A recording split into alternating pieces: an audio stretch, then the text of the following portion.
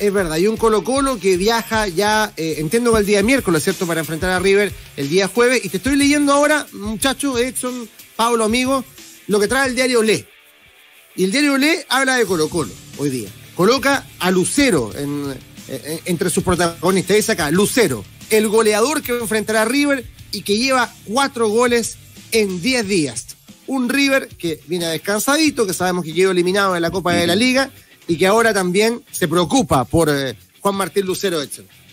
Sí, llama mucho la atención. Eh, cada vez que juega un equipo argentino con algunos chilenos, eh, se pone en el foco justamente en el futbolista que tiene su nacionalidad, en este caso en Juan Martín Lucero, sobre todo por la racha goleadora que ha traído. Pero si también en el, en el Olé, te vas a encontrar con que hablan de la posibilidad de que River clasifique invicto a la próxima fase de la Copa Libertadores. También es otra eh, característica que asumen y lo que instalaban en la nota, que cada vez que River Plate clasificó invicto a Copa Libertadores llegó a la final. En este periodo con el muñeco Gallardo, las dos finales que fue, eh, tuvo que ver con el invicto en la primera fase. Eh, situaciones que, se hablan en los medios trasandinos, pero en el Monumental no se habla otra cosa que no sea ir a buscar el partido. Y me parece que es una situación eh, sumamente interesante respecto a, lo, a esta forma que ha instalado de jugar Colo Colo. ¿Les parece si escuchamos al Torto Paso? El Torto Paso justamente se refiere a esta situación, a cómo ir a jugar ante River Plate, a cómo lo va a plantear Colo Colo, qué es lo que están pensando, eh, es lo que dice el lateral derecho del cacique. Llegamos de la mejor manera. El triunfo que obtuvimos contra Coquimbo nos sirvió mucho para llegar con mucha confianza al partido que se viene, que es con River, que lo necesitamos porque es un partido muy importante de cara a lo que se está definiendo también en, el grupo. Sabemos que si sacamos un buen resultado podemos estar a poco de, clasificar a, la siguiente fase, así que hemos descansado muy bien. El partido con Coquimbo creo que salió todo a la perfección. Pudimos guardar a jugadores que venían un poco tocados. Hemos tratado de jugar de la misma manera en cada cancha, en cada país, en cada torneo que nos estaba, nos tocando participar. La manera no va a cambiar nunca quizás puede variar un poco más la presión, un poco más adelante, un poco más atrás, pero la forma de jugar, de querer ir a ganar los partidos, eh, siempre no, va a cambiar. Estamos con esa mentalidad de ir a Argentina a buscar los tres puntos y después, durante el partido, el desarrollo, iremos viendo cómo se va dando, pero la forma de jugar no va a cambiar nunca. Es interesante, eh, Pablo, y ahí te paso la pelota también, lo que dice el Torta, porque él se refiere a esta forma y da un concepto táctico bien interesante que dice uno puede variar si hacen la presión más adelante, un poco más atrás, mm. pero la forma de ir a buscar los partidos no cambia. Y eso es súper interesante porque no necesariamente la presión alta, eh, presionando al arquero, implica que tú vayas a buscar el partido. Muchas veces te contienes, haces la presión en la mitad de la cancha, pero lo que no cambia en la forma es esa velocidad que tiene Colo Colo de llegar al arco rival, de tratar de llegar en dos, tres toques para ir a buscar el partido. Y creo que es lo que trata, trato de interpretar un poco las palabras del corto paso de cómo ir a buscar el partido ante, ante River Plate. Sí, sí, me da la misma impresión que, que eh, donde se para Colo Colo puede modificar, pero el estilo Colo Colo, perdón, el estilo Colo Colo ya lo conocemos y se hace muy valioso. Además, Colo Colo, tal como habíamos hablado, eh, va a este partido con, con, eh, con poca mochila en la espalda en términos de responsabilidad. Es decir, si hace un mal partido y pierde con River y qué sé yo, igual define con fortaleza en el Monumental con su gente para tratar de pasar a, los octavos de final. Y al revés, si va a buscar el partido, ya sea presionando a River o esperando eh, la contra con un Solari que vuela por un lado, con Gabriel Costa que siempre habilita y con Lucero que está pasando por un dulce momento, eh, te puedes echar la clasificación en una de esas con, con un gran resultado desde Buenos Aires. Por lo tanto, a diferencia católica, responsabilidades esta, eh, esta semana en la Copa Libertadores para Colo Colo no es salvaje y no es difícil.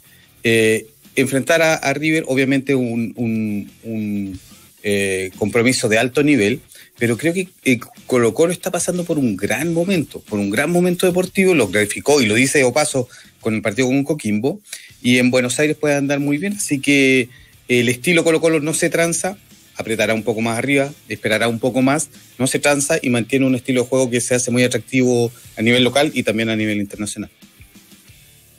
Es verdad, ¿algún tipo de formación, Edson, para el día jueves?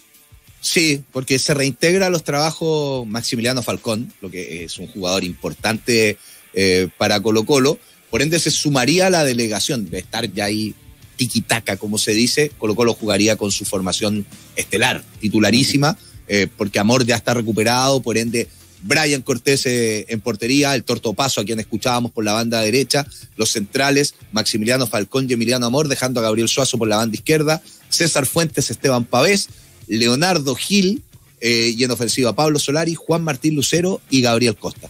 Me parece que por ahí va el equipo, la duda termina siendo Maxi Falcón, si no está Falcón, va a jugar el Mati Saldivia, pero el resto en la oncena que, que ya recitamos de memoria, no necesitamos anotarla porque Sí. Colo Colo viene jugando así Sí. constantemente. Es verdad. Oye, un detalle de lo que también dijo el Torto Paso el día de ayer, porque elogió mucho a Quinteros, Pablo. Dijo, yo la pasé muy mal, tuve un año con una lesión que me costó mucho salir, eh, no estaba bien en lo futbolístico, y él me dio la confianza y las herramientas para volver a ser titular cuando no lo pensaba.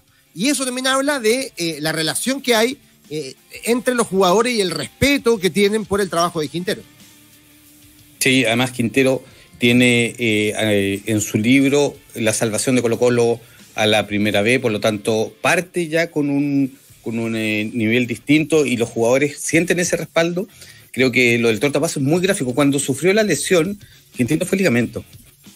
¿Lo del Sí, Torta? sí, Sí, en un partido con Palestino en la cisterna. Sí, por la edad del Torte dije, "Puta, le va a costar volver.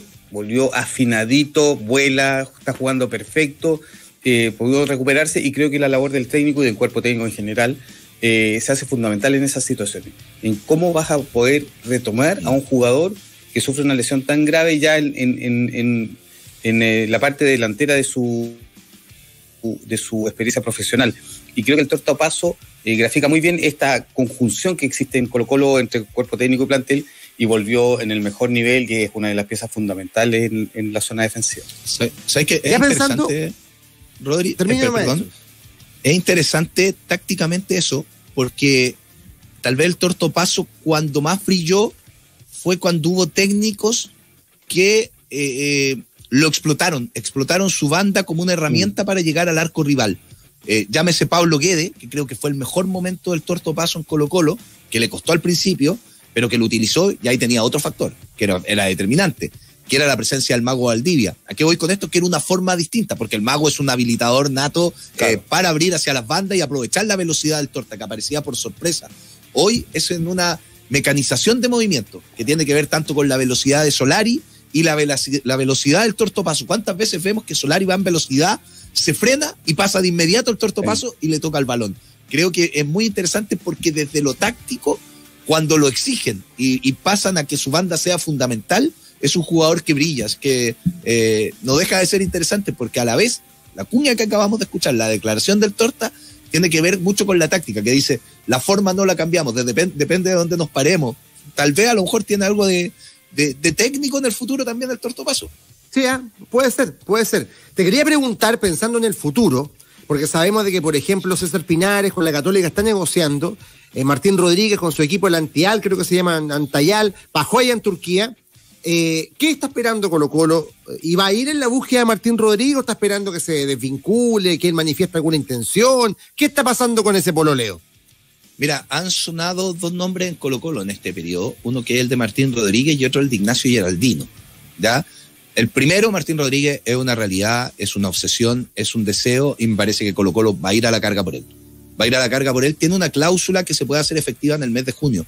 Es una cláusula alta, pero hay una posibilidad de que el jugador eh, rebaje esto por la situación económica del club, eh, dado este, este descenso. Lo de Ignacio Geraldino, eh, el archivo no muerde, como dice Danilo Díaz, que lo está pasando mal y le enviamos un saludo. Si ustedes buscan, en los últimos tres mercados de fichaje ha aparecido el nombre Ignacio Geraldino y no ha llegado a Colo Colo. Más bien una instalación mediática que un deseo real eh, en Colo Colo. Lo de Martín me parece que sí. Y ojo, tú mencionaste Pinares. Pinares apareció en alguna carpeta en Colo Colo. A Gustavo Quintero le gusta mucho. Eh, yo creo que es muy difícil su llegada. Pero Una apareció en tercera alguna etapa carpeta. sería difícil, claro. Apareció en alguna carpeta. etapa. Pero tal vez No, su no, mejor no rendimiento, su mejor rendimiento lo alcanzó con Quintero en Católica. Entre. Quintero y Sí, no, fue la mejor etapa de César Pinares. Así que Es verdad, eh, es verdad. me Ahora, parece que él, él después él tiene más ganas. se identificó de con la Católica después, por Sí, cierto, el sí. punto, ¿cierto? El- Además, ¿cómo lo incluís a quién sacáis en el equipo para que él entre de titular y no empiece a quedarse en la banca en Colo Colo? Creo que puede ser más Mm. difícil el desembarco deportivo de Pinar. Pe- Pero lo de Martín me parece que, que- que hay grandes posibilidades de verlo, de verlo en Colo Colo la, la próxima temporada. Oye, verdad. voy a, hacer, voy a hacer una invitación para leer una nota que puede despertar algo de polémica. Está en Red Gol. eh, que tiene que ver con un proyecto de ley que, se, presentó Sebastián Keitel hace algunos años, eh, el 2018 para ser preciso, y que busca reducir de cinco a dos años la residencia para extranjeros que tengan la posibilidad de defender a Chile en cualquier deporte. En cualquier deporte, que estén compitiendo y puedan representar a Chile, se pueda reducir a dos años. Esto tendrá que pasar por una validación del Congreso, etcétera. Pero es lo que busca este, este proyecto de ley. En algún momento se había desechado el fútbol por una indicación de, del diputado Pepe Out. Se había desechado el fútbol, que esto no iba, y finalmente se está considerando, se está considerando, y ahí de inmediato encienden las alertas Pablo Solari, dos años en Chile, si lo valida se podría nacionalizar, en 2025, esperando la norma FIFA, podría jugar, así que está interesante la nota para que la, para que la puedan leer, y vamos a ver cómo se desencadena este proyecto de ley. No, buena nota y vamos a leerla ahí también porque lo de Solari es una posibilidad que hace rato se viene